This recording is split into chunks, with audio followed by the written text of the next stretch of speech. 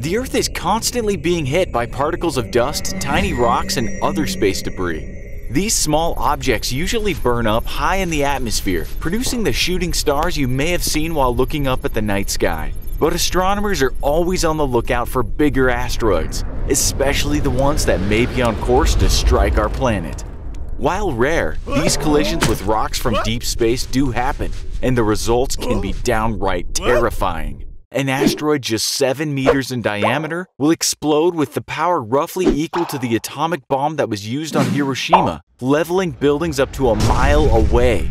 A larger 100 meter diameter asteroid has more power than the largest nuclear weapon ever tested and could level an entire city. But there are even bigger asteroids out in space, and a run in with one of these would have a truly global impact.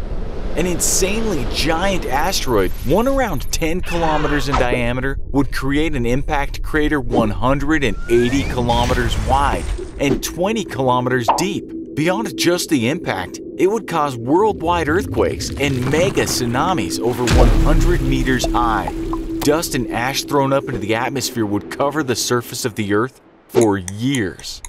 A massive die off of plants and animals would follow, basically, the end of life as we know it.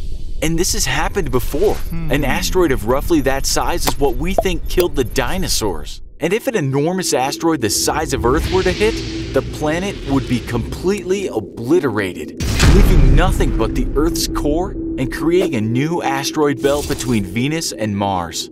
But don't worry too much. Giant asteroids the size of the one that wiped out the dinosaurs only hit the Earth about every 50 to 100 million years. Of course, the last one was 66 million years ago, so I guess you could say we're due.